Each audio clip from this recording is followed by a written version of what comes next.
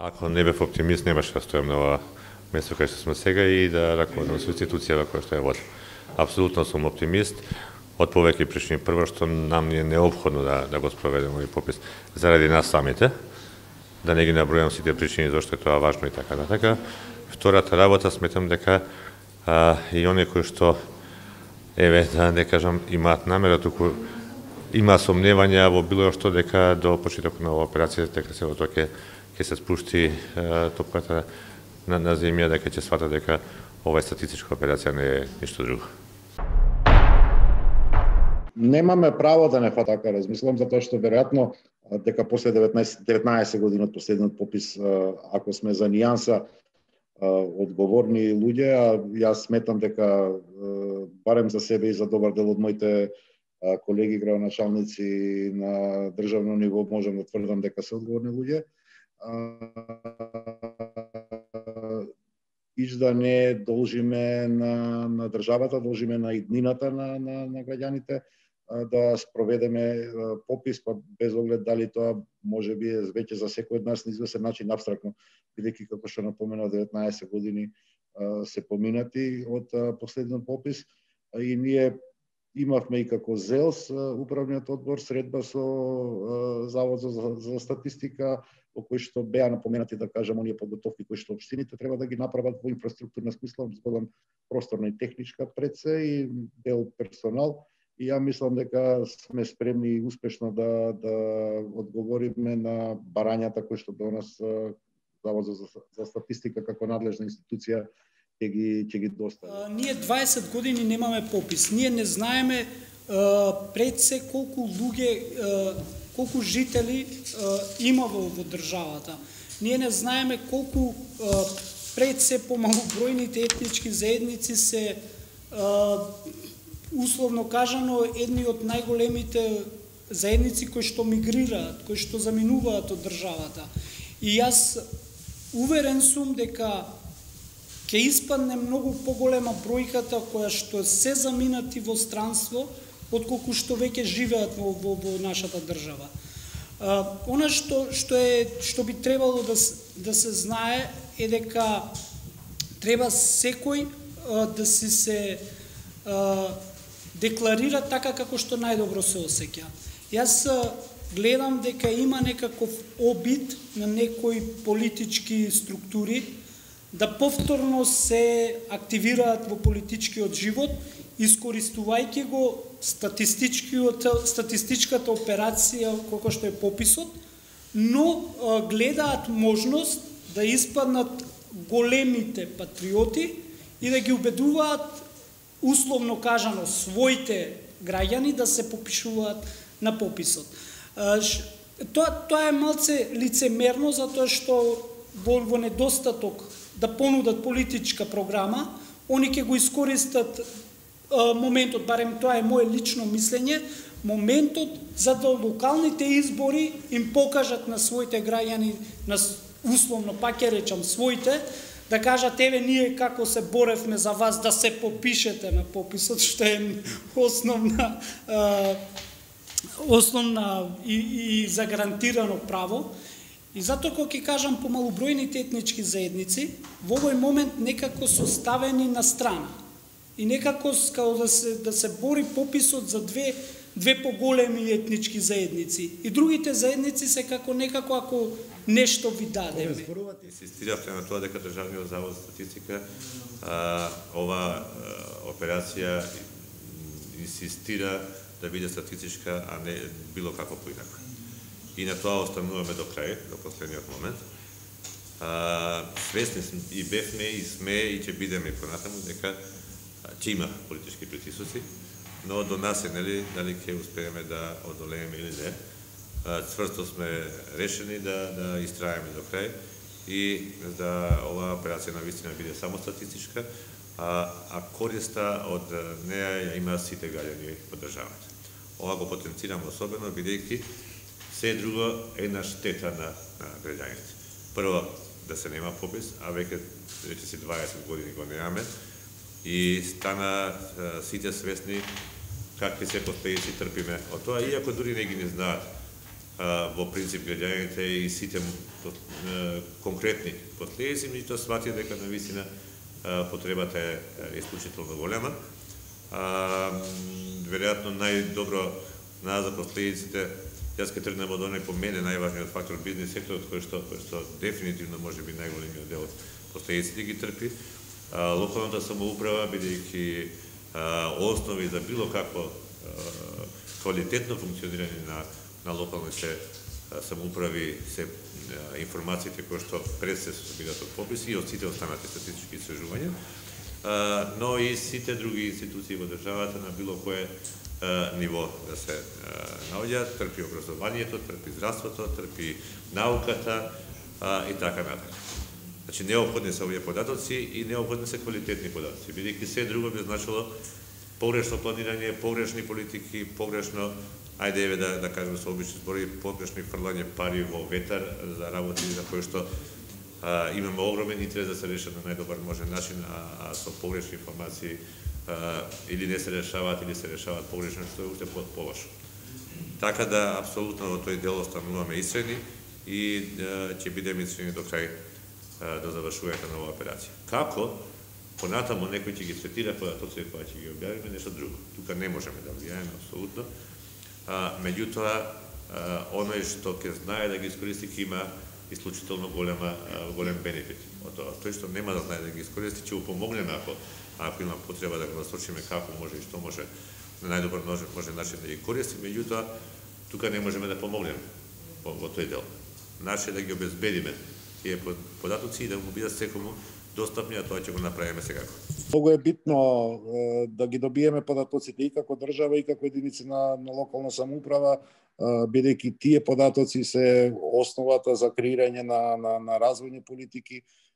во самите единици на локалната самоуправа, на микроекономското планирање во делот што општините го имаме како ингеренции, ќе добиеме податоци за определени научни истражувања кои што се одвиваат на ниво на држава, може да помогнат на самите општини и затоа за нас велам успешниот попис пак ќе представува основа за планирање на добра инфраструктура, да можеме да испланираме добро и паркови, площади и јавни простори, да имаме одржлив сообраќај затоа што ние немаме точни податоци да речам нити на бројот на на домакинства, нити на возила, нити на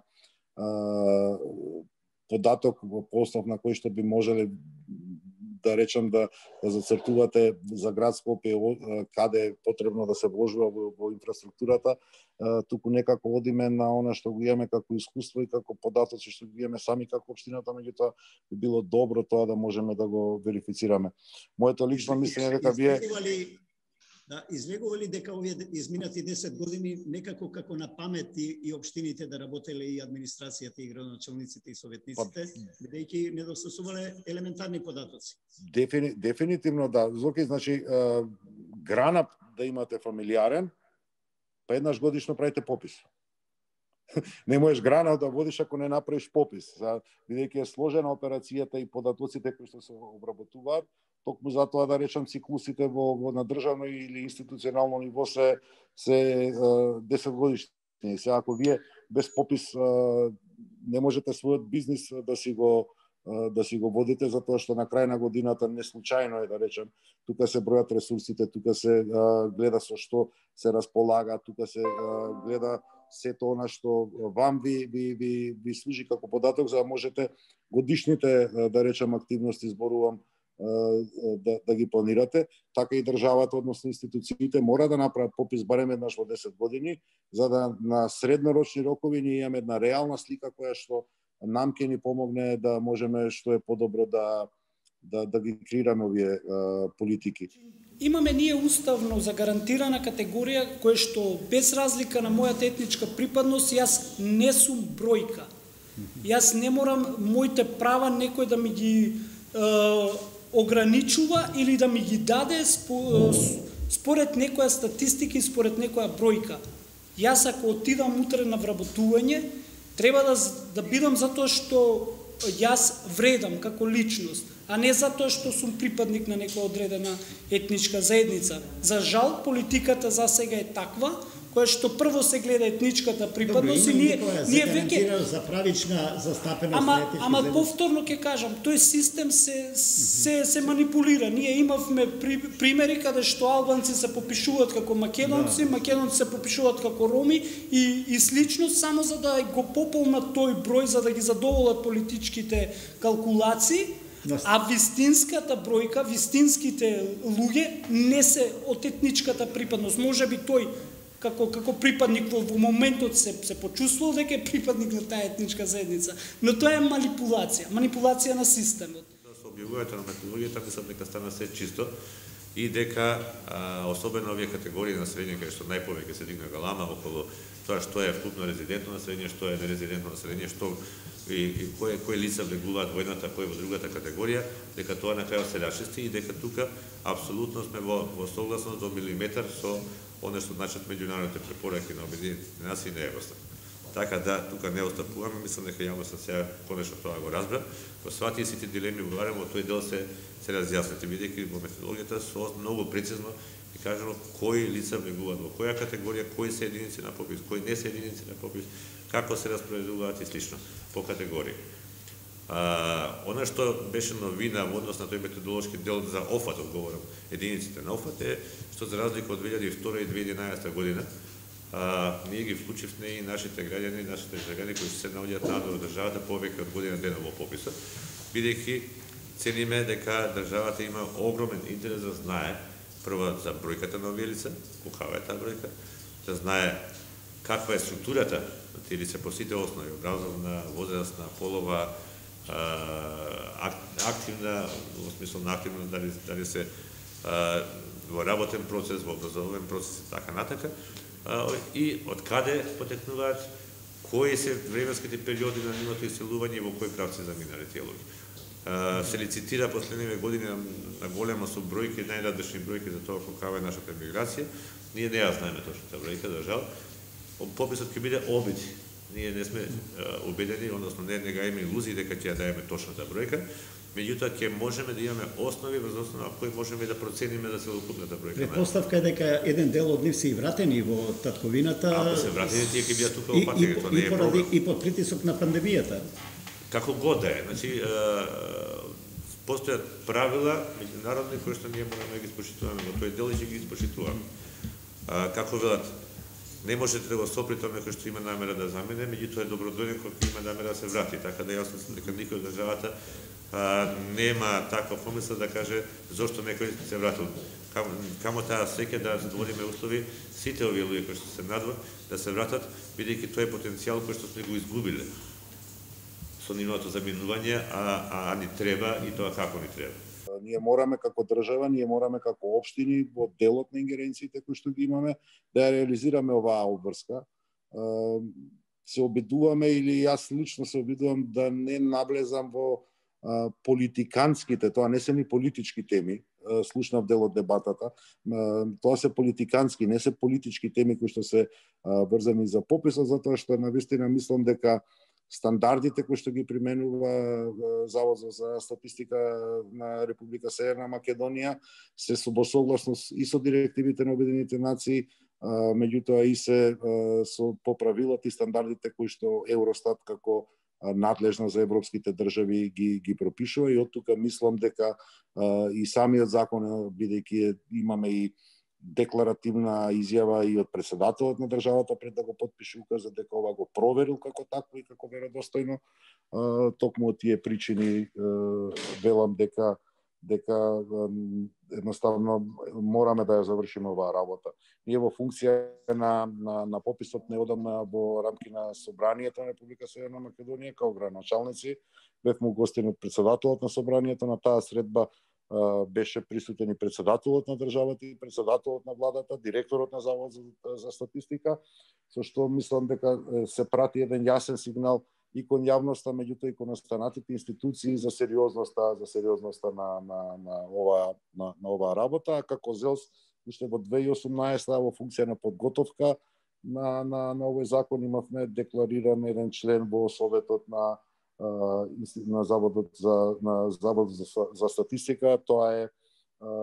Боријан Мицевски градоначалникот на Крива Паленка и Фатми Бехари градоначалникот на општина Кичево, со цел да дадеме наш придонес или наши размислувања како ЗЕЛС во рамки на подготовки на, на овој закон. Ете, на пример, сега ние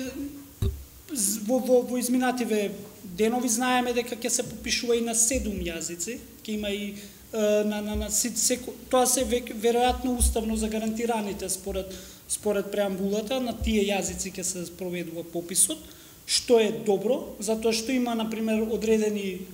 категории кои што не разбираат доволно добро, ако на пример дојде некој на некој јазик зборува, не може да се изрази убаво и може би во пописот ќе има погрешна статистика ако на неговиот јазик не му се спроведе, што што е добро и го го, го поздравувам тој потек. Меѓутоа со објавувањето на методологијата мислам дека стана се чисто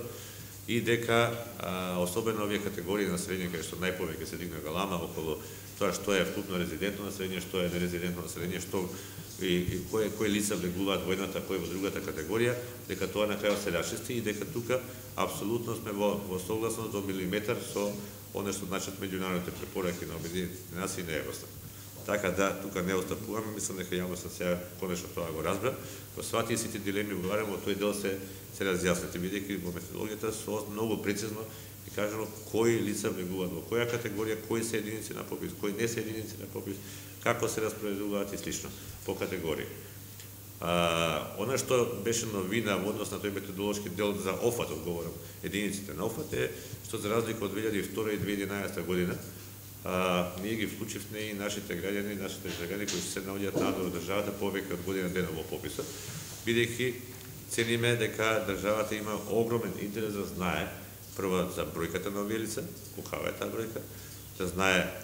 каква е структурата на тие лица по сите основи, образовна, возрастна, полова, активна, во смисло на активна, дали, дали се во работен процес, во образовен процес и така натака, и од каде потекнуваат, кои се временските периоди на нивното иселување и во кој прав се заминале тие луѓе. Ќе дадеме информација апсолутно и за присутно население во земјата, како подкатегорија. Меѓутоа овие се две главни категории, Така. кои што ќе ги обезбедиме со пописот, а секој од нив има свој подкатегории. И нерезидентно население има две подкатегории. Наши државјани кои се надвор државата подолго 12 месеци, меѓутоа и странци што се присутни во државата пократко 12 месеци, така да така, дека ќе има податоци по овие подкатегории, меѓутоа ова е тоа што елементарно треба да прибереме и сите карактеристики на овие лица. Тоа е многу битно, бидејќи не е само бројката колку сме, туку и какви сме. Од аспект на квалитет, не говорам од аспект на нешто друго, поинако што се разбира за жал, како што како што е впечатокот кај нашите кај нашите граѓани дека пописот само треба да обезбеди податок колку сме и какви сме политичка припадност и толку, не какви сме многу други аспекти. Значи возраста на населението, сите нивни карактеристики економски, образовни, културолошки и така натака, за да се добие на квалитетна слика и сите оние кои што треба да градат некакви си политики имаат можност врз основа на овие сеопфатни информации да да ги постават на, на вистинска патека сите тие сите тие политики. Ние немаме 20 години попис. Не е проблема да сега дали да биде овој месец а, или другиот месец или не знам на есен или до година одлагањето кој имавме попис од 2011 година. Меѓутоа ние го немаме. Ние нас не фалат овие податоци многу одамна. Ова одложуваме веќе 10 години попис. Проблемот што ние веќе 10 години го одлагаме пописот. Така да на тамашно секој на тамашно одлагање носи нови проблеми и апсолутно тој дел немам никакви дилеми дека пописот треба да се да се спроведе што е можно поскоро, односно во терминот кој што е предвиден со законот. Ако некој алудира на состојбите со ковидот, никој не знае како ќе се одвијат и понатаму тие состојби, така да а, во тој дел да знаеме кога ќе биде безбедно сигурно, не може никој во моментот да предвиди за да одлагаме целата операција. И на крајот на причата имаме и други работи што течат во општество. На есен имаме локални избори, нешто што не може да се поврзе со спроведување на попис. И имаме ние и други 260 истражувања што треба да ги спроведуваме и секој одлагање значи компликации во однос на нивното спроведување.